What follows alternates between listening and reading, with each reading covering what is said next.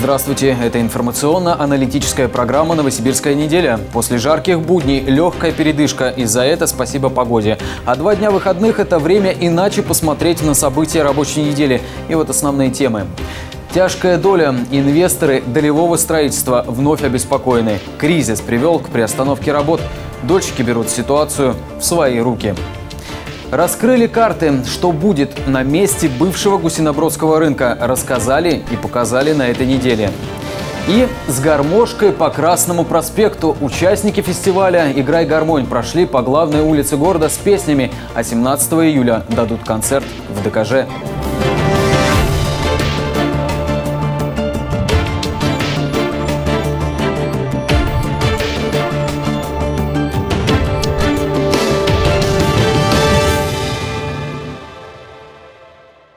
Деньги решают все. Эта истина известна давно и на этой неделе лишь подтвердилась. В правительстве области так грезят о федеральных миллиардах, что проект четвертого моста через Обь вынесли на общественное обсуждение. Уже по меньшей мере полгода саму идею критикуют эксперты. Многие автовладельцы категорически против того, чтобы ездить по платному мосту, а именно таковым будет четвертый или центральный. Но в правительстве области на все это, похоже, не обращают внимания. Над проектом не просто работали, а постоянно вносили коррективы. Увеличилась и стоимость строительства переправы и предполагаемая цена проезда. И вот после того, как все посчитали, обдумали и даже потенциальных инвесторов нашли, вынесли проект на обсуждение. Оно получилось жарким и явно не в пользу авторов проекта. Непонятно, зачем в нынешней ситуации, в очень трудной, кризисной, э, брать на себя такие обязательства.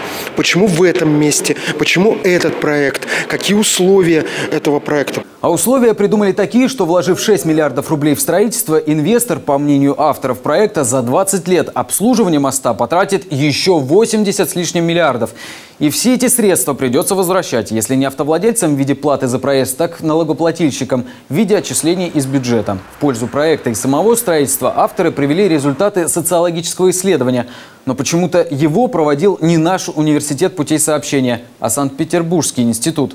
Так, 74% респондентов, совершающих поездку по городу, и 80% респондентов, совершающих транзитную поездку, с разной степенью энтузиазма отметили, что будут пользоваться новым платным мостовым переходом.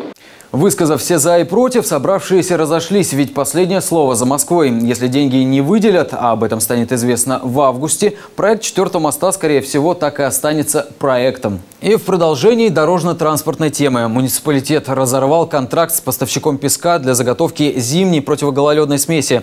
Проверка показала, что в партии фракция песчинок была слишком мелкой. Такой песок по качеству не соответствует требованиям. С его помощью не только с гололедом невозможно бороться. Весной из-за мелкого песка на улице могла появиться пыль. 84 тонны отправили обратно поставщику, чтобы не срывать планы по подготовке к зиме. Проведут новые аукционы. Песок планируют закупать несколькими партиями. Еще один сезонный вопрос – состояние ливневой канализации. На ее реконструкцию и поддержание в рабочем состоянии ежегодно выделяют 20 с лишним миллионов рублей. Коллекторы регулярно прочищают, все новые дороги строят с дождеприемниками. Это обязательное условие. Проблема в старой части города из-за того, что коллекторы не справляются с пропуском аномального количества воды. При месячной норме в 66 миллиметров за первую неделю июля в городе выпало 62 миллиметра осадков. Вся ливневая канализация в городе Новосибирска на сегодняшний день в плановом порядке обслуживается и промывается после весенних вот наших э, мероприятий, весенних дождей, схода снега. Она в работоспособном состоянии, есть некий норматив. Норматив ливневая канализация должна принимать воду в течение 20 минут.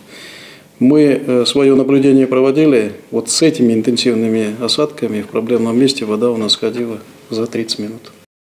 2016 для дольщиков 16 домов станет счастливым. Их долгострои все-таки сдадут в эксплуатацию, и после долгих лет ожидания люди смогут отпраздновать новоселье. В нынешней ситуации, когда многие застройщики в силу экономических причин вынуждены приостанавливать строительство, вот 16 проблемных домов – позитивная тенденция. Кто помогает дольщикам в их беде и почему судьба долгостроя в большей степени зависит от самих покупателей квартир, Анна Гурьянова выясняла. Строительство жилого комплекса «Три богатыря» начиналось как в сказке. Красивый офис, вежливые менеджеры, чай, кофе. Деньги от инвесторов принимали на очень выгодных условиях, в рассрочку, без процентов. Только сказка оказалась страшной. Застройщику инвесторы отдали почти 130 миллионов рублей. Но на площадке за несколько лет не выросло ни одного этажа. Котлован со сваями зарос травой. Как оказалось, у застройщика даже не было разрешения на строительство. Деньги привлекались не по договорам долевого участия, а по договорам займа. Это считается весьма рискованной схемой. Теперь инвесторам только и остается, что выходить на пикет. Не были так сильно подкованы для того, чтобы более детально проработать э, этого застройщика, более детально оценить его документацию, оценить свои риски и так далее. Вот это с нашей стороны ошибочно. Сейчас на застройщика завели уголовное дело по статье «Мошенничество в особо крупном размере». Денег так и не нашли. Поверив в сказочное обещание, 70 инвесторов остались у разбитого корыта. Хотим привлечь власти в первую очередь, чтобы помогли нам а, передать ту землю. Мы готовы самостоятельно участвовать, э, самостоятельно привлекать инвесторов, готовы самостоятельно строить, что-то доплачивать готовы. Судьба долгостроя в руках самих дольщиков. Этот дом на улице Кашурникова должны были сдать еще в 2009 году. Застройщик обанкротился и свои обязательства не выполнил. Так объект стал долгостроем. 150 дольщиков организовали ЖСК с говорящим названием «Феникс» и решили сами закончить строительство дома. На тот момент это была коробка с половиной окон. Нами закончена уже строительная часть, э, там, кладка, кровля, э, лифтовое хозяйство, коммуникации, тепло, свет, вода. Э, все подключено, все подведено. Дольщикам пришлось снова вкладываться в стройку. Они доплатили по 7 тысяч рублей за квадратный метр. Но собранной суммы в 70 миллионов не хватало. Оставшиеся 64 миллиона рублей перечислила новая строительная компания. В обмен на помощь обманутым дольщикам она получила земельный участок для возведения еще одной многоэтажки. За счет городского бюджета благоустроили придомовую территорию. Помог муниципалитет и с подключением к сетям теплоснабжения. Городской совет в рамках своей компетенции в свое время принял решение о предоставлении льготы именно для обманутых дольщиков, вот для таких э, ЖСК и, э, так сказать, ну, переоформленных организаций льгот по арендной плате за землю.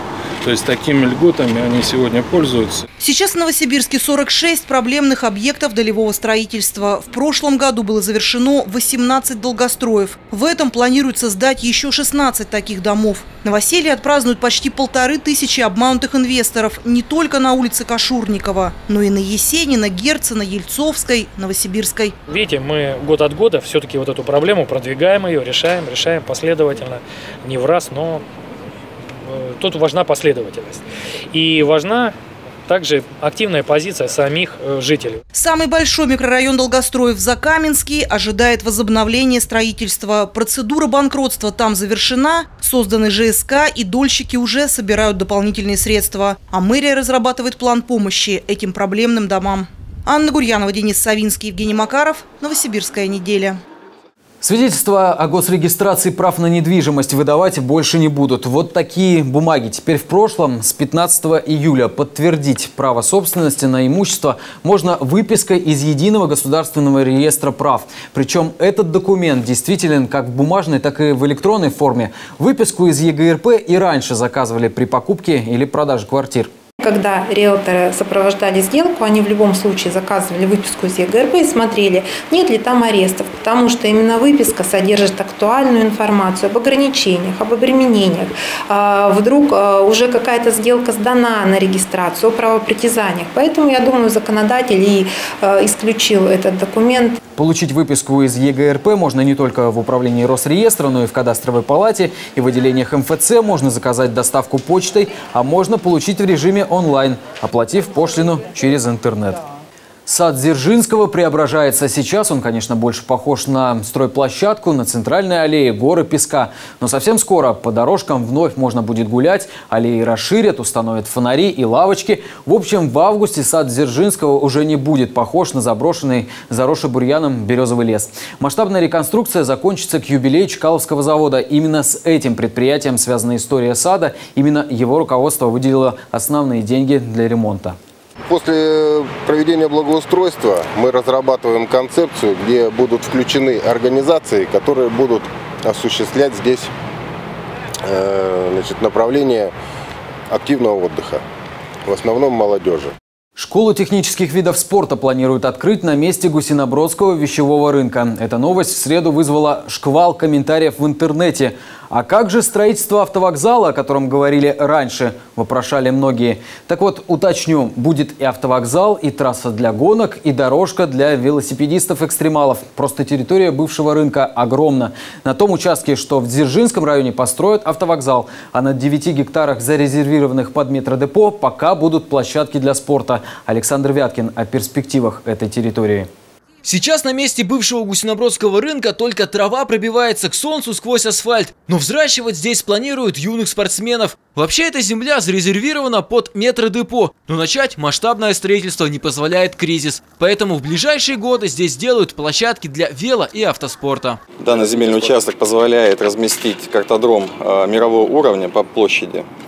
Э, к сожалению, в нашем городе пока нет такого. Данный вид спорта очень активно развивается, является базовым видом спорта для всех технических видов спорта. БМ-миксеры и роллеры каждый вечер катаются на площади Ленина. От такого натиска и памятнику ничего хорошего и экстремалам. О специализированной площадке мечтают давно, и она появится. Будет трасса и для картинга. Его любителей сейчас оттачивают мастерство на небольших частных трассах и в автомотоцентре.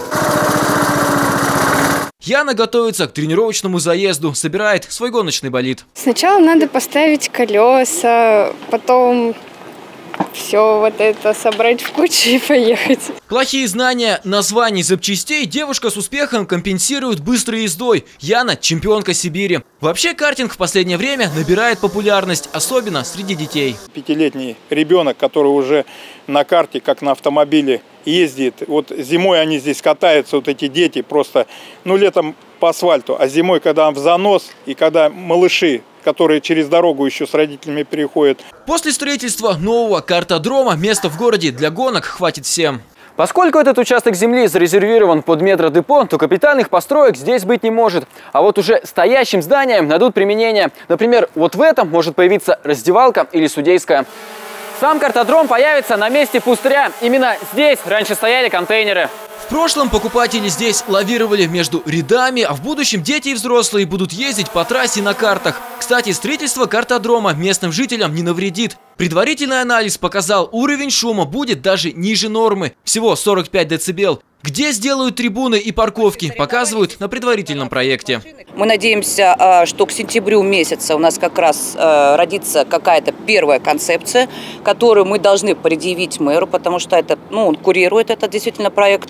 Уже после этого будет, будем начинать как бы вот заходить на эту территорию. Необходимо не только разработать концепцию, но и найти инвесторов. Строить спортивные площадки будут на той части бывшего рынка, которая относится к Октябрьскому району. Есть планы и на другой участок на противоположной стороне Гусинобродского шоссе.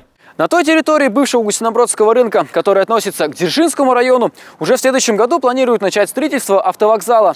Сейчас здесь пытаются навести порядок. Мусор вывозят уже не первый месяц, но он появляется снова. И самое удивительное, что в кучах много бытовых отходов. Вот, например, пластмассовая бутылка и даже банка из-под консервированного гороха. Все это явно оставили не торговцы рынка. Территорию частично сейчас огораживают забором, чтобы хоть как-то сохранить чистоту. Жители частного сектора грешат на своих же соседей. Рядом есть мусорные контейнеры, но до них доходят не все. Люди оттуда идут, когда, может, кто-то не знает, что здесь есть, или еще как-то, может, сюда выносят кто-то. Мусора меньше, на самом деле, становится, потому что пока здесь была барахолка, здесь вообще ветер, ветер когда дул, то здесь пакеты там на деревьях были и прочее. Впрочем, скоро выносить сюда мусор будет просто невозможно. Территорию уже огораживают забором. Александр Вяткин, Дмитрий Кан, Новосибирская неделя. Тем временем у школы номер 13, что в Заильцовском районе, почти готова крытая спортивная площадка. Строят ее рекордными темпами. Начали в мае, а откроют аккурат к началу учебного года. В понедельник ангар должен быть закончен, на 17 августа должны закончены быть все коммуникации, естественно, вода, раздевалки, туалеты, душевые и административное здание. На площадке разместят два мини-футбольных поля. В школе учатся 840 человек, и для занятий физкультурой одного зала просто не хватало. Строят спортивную площадку московские инвесторы. В первую половину дня заниматься здесь будут школьники, а вечером все желающие, но уже за деньги. Таким образом, проект должен окупиться. В то же время, не дожидаясь денег из Москвы, в городе начали строить и реконструировать школы. Как решают проблему нехватки мест, об этом говорим далее. Пожалуй, самый масштабный проект этого года – строительство школы на Горском жилмассиве. Вот чем особенен этот проект и будет ли сдана школа непосредственно перед учебным годом?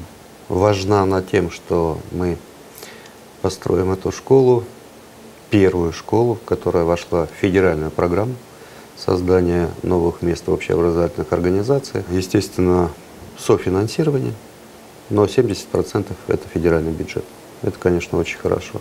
Нет пока никаких сомнений, а, что мы ее сдадим в планируемые сроки. До декабря месяца то есть, получается, учебный год может в этой школе начаться в сентябре 2017 только?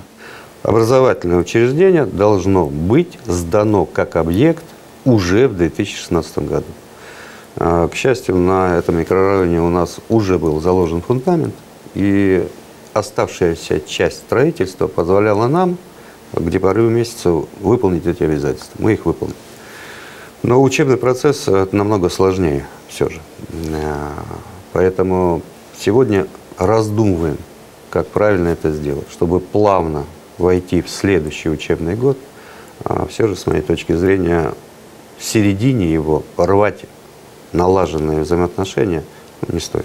Если вернуться к особенностям проекта, насколько мне известно, федеральных средств еще не поступило, и муниципалитет строит школу пока за собственный счет. На территории Новосибирской области средства пришли, а, просто должно занять какое-то время прохождения документации – а действительно, сегодняшний день мы сопровождаем а, муниципальными средствами для того, чтобы строительство не остановилось. Если говорить о реконструкции, понятно, что в каждой школе перед учебным годом идет косметический ремонт, но вот о глобальной реконструкции и ремонте школ а, в Новосибирске, сколько их в этом году будет и каков объем работ? Весной этого года на одной или очередной встрече с мэром города Новосибирска при обсуждении а, перспектив развития отрасли а, мы озвучили наши самые сложные объекты, которые существуют на территории города.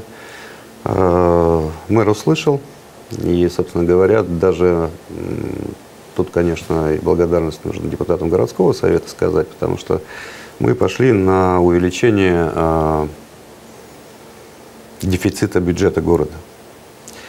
Но э, все же 82-я школа Дзержинский район. На сегодняшний день э, коллектив учащихся этой школы учится в двух иных учреждениях. Да? Согласитесь, это нехорошо. А, и это уже год учебный, они так провели. А сейчас мы вступим во второй учебный год. И это один из тех объектов, к которым сегодня уже приступили строители. А, мы были на этом объекте, э, и к февралю месяца капитальный ремонт школы номер 82 закончится. Это школа номер 155. А, это Ключ-Камышинская плата. Так географически сложилось, она у нас на том микроучастке практически одна. И дети там занимались в три смены. Ну, Школа небольшая, на самом деле, там э, рассчитана на 220 человек, а фактически 600. И если родители выбирают э, иную организацию общеобразовательную, им нужно вести детей достаточно далеко. Поэтому сегодня э, и на этом объекте работы уже начаты.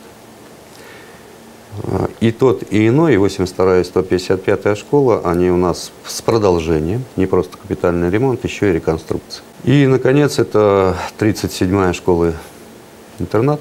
Длительного срок уже она у нас строится.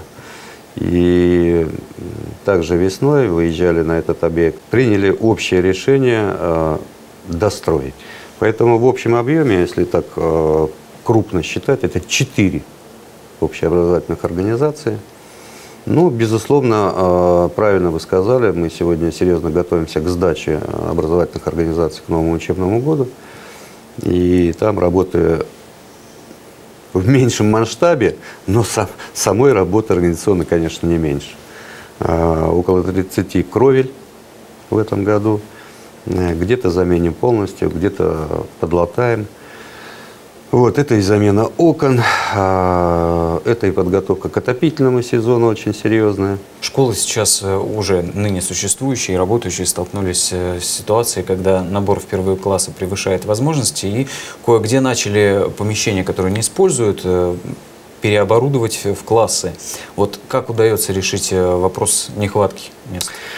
Есть микроучастки в городе Новосибирске, объективно сложившиеся, где в общеобразовательных школах сегодня уже набрано по 12 первых классов. Есть образовательные организации, где площади существующие не позволяли набрать то количество детей, которые хотели бы обучаться в этом образовательном учреждении. Шли навстречу, вот общими усилиями мы дополнительно создали небольшое количество, правда, но 8 классов мы открыли, а, выделили этим образовательным организациям дополнительное финансирование. А, непопулярная мера, сразу скажу, потому что если в одних случаях мы выводили из школ и 74 и сейчас планируем из 15 гимназии наши учреждения дополнительного образования и освободим им классы, которые они занимали, то в части образовательных организаций пришлось закрывать, к примеру, группу продленного дня. А, повторяю, мера непопулярная, но она вынуждена на сегодняшний день. А, собственно говоря, а, тот ажиотаж, о котором мы говорили еще, наверное, в апреле-мае месяце, сегодня его уже нет. В общем-то, успешное строительство школы на Горском жилмассиве уже некая гарантия постоянного поступления федеральных средств. По-моему, только так можно решить проблему нехватки мест в школах. На сегодняшний день да. На сегодняшний день да, потому что, ну, хорошо, мы с вами говорим о центральной части города, где все же э, образовательные организации есть. А на окраинах. Вот. У нас сегодня есть микрорайоны, где их нет. Поэтому действительно почему мы очень трепетно относимся к строительству первого объекта, да, а, чтобы в конце концов показать, что город Новосибирск, как и в прошлом году, выполнил федеральную программу по строительству детских садов, мы готовы в городе построить и школу качественно, в срок. И, естественно, думаю, что это, безусловно, будет учтено при дальнейшем распределении средств. Но, повторяю, сегодня без э, федеральных средств сделать это невозможно. Спасибо большое вам за интервью. Лучшие гармонисты мира на этой неделе прошли праздничным маршем по центру Новосибирска. Так музыканты отметили старт международного фестиваля «Играй гармонь» имени Геннадия Заволокина.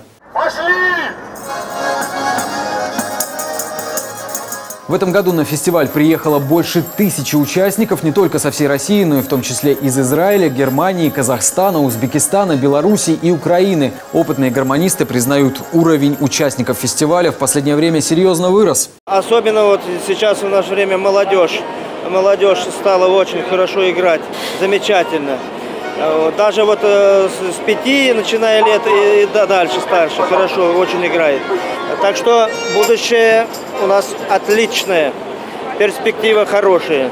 Основные выступления пройдут по традиции в Заволокинской деревне на 95-м километре Ордынской трассы, а наградят лауреатов и призеров конкурса на заключительном концерте 17 июля в ДКЖ.